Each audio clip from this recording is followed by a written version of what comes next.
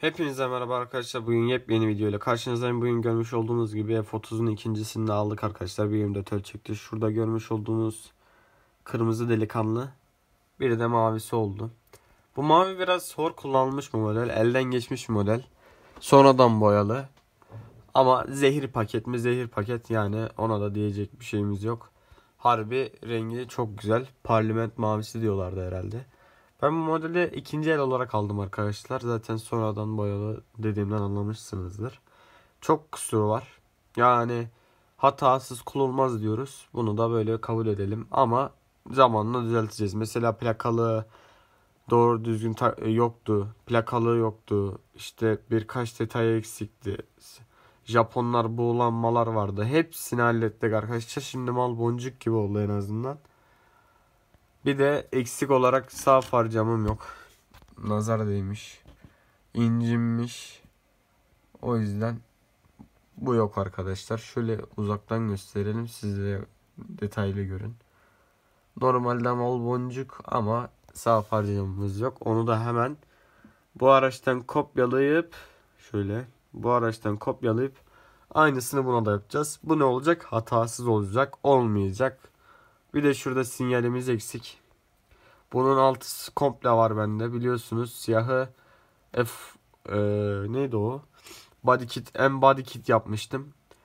Ondan sökmüştüm bu. Art, artmıştı. Onu buna takacağım arkadaşlar. Ondan sonra boncuk gibi olacak.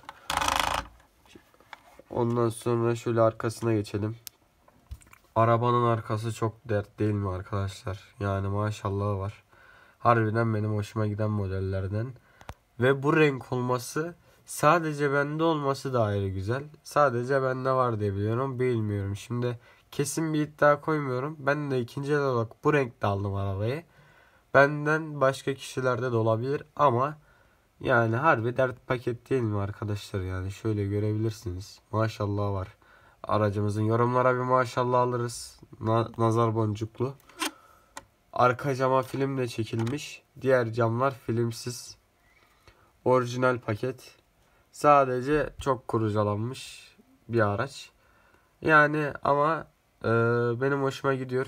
Niye gidiyor? Çünkü BMW dayı yani BMW olması bize yeter. Öyle değil mi? Şöyle tavanını göstereyim size. Tavanın şurada boya atması gibi bir şey var. Şu köpek balığı sırtında. Onu da halledeceğim bir pastacıyla ya videoya pasta videoya yetiştiremedim. Yoksa arkadaşlar okul iş güç derken videoya işte tam yetiştiremedim.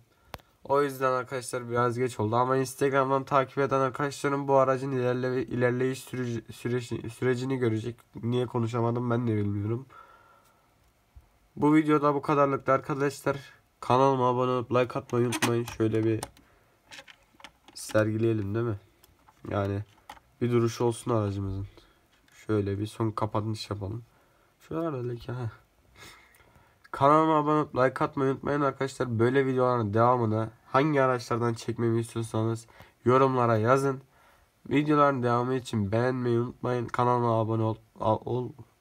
Bu aralar konuşamıyorum arkadaşlar kusura bakmayın.